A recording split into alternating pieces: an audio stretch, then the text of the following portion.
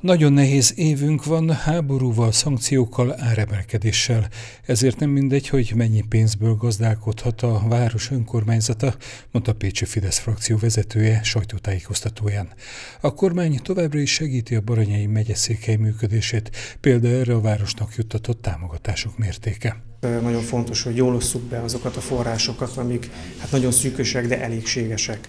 Ugye ebben nagyon fontos szerepet játszik a magyar kormány és a magyar állam, amelyik rendre az év során extra többlettámogatást nyújt az önkormányzatnak, ez összességében egyébként most már 3 milliárd forint, ez az eredeti támogatásnak az egyharmadával növelt tétel, tehát hogy 30%-kal több pénz érkezik a központi költségvetésből Pécsre, ez nagyon nagy dolog. A többlettámogatás közvetlenül eljut a dolgozókhoz, így segítve a megélhetésüket, mondta a politikus. Többletpénzből jut 300 millió forint a az óvodai és bölcsödei dolgozók bérére, a szociális ágazatban dolgozók bérére, vagy akár a gyermekétkeztetésre is. Összességében egyébként ez egy milliárd forintot tesz ki.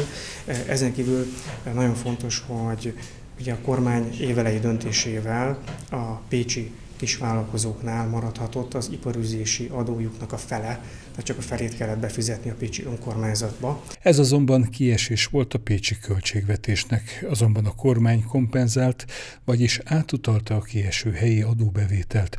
Októberben így 1,7 milliárd forint érkezett az államtól. A többletbevételek miatt kedden módosítják a város idei költségvetését. Ezt tárgyalják a képviselők többek között a közgyűlési ülésen, tájékoztatott a frakcióvezető.